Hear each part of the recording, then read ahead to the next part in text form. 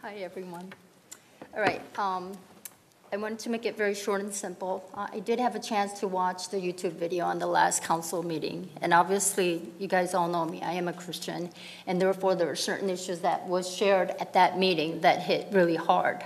But what I wanted to say in short and clear is that, um, you know, our country is very divided, and we know that, right?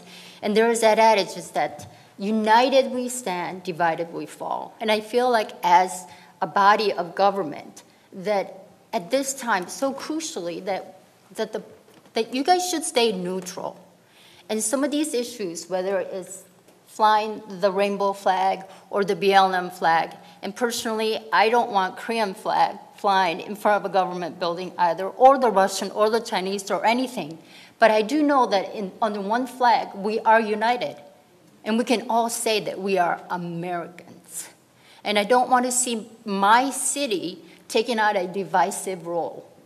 And for sure, when I watched that video, um, you, you, you had at least 50 50% of the people that came and supported you know, the, the, the initiative to, you know, to call June the Pride Month, now the rainbow flag, 50 50. And I think that's pretty accurate because I think that's what's going on in our country, right?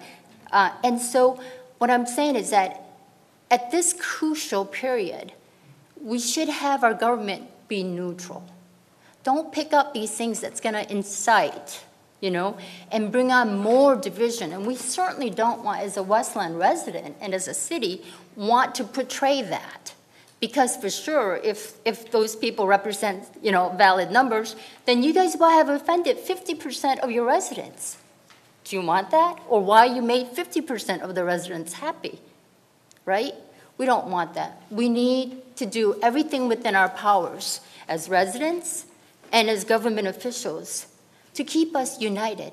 And you know what? We are Americans. I want American flag flying in all the government places.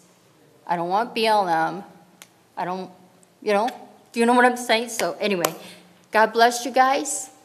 And remember, righteousness, God says righteousness exalts a nation. And He promises that if we honor Him, He will honor us. And we can always speak about things that we disagree in moral scheme, in love. And I think we can always do that. So, Good seeing all of you guys, and thank you for letting me speak before you. God bless you guys, and God bless America and Westland. Thank you.